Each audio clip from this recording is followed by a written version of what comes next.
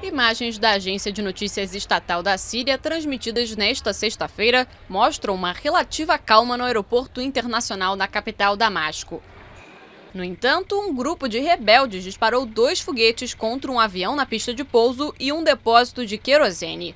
O tanque pegou fogo e a aeronave sofreu grandes danos. Segundo a agência Sana, o tráfego aéreo está normal e o incêndio foi controlado.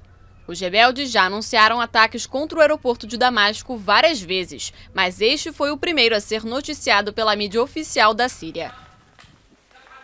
De acordo com o Observatório Sírio dos Direitos Humanos, tropas do regime do presidente Bashar al-Assad entraram em confronto com insurgentes perto do aeroporto na segunda-feira passada.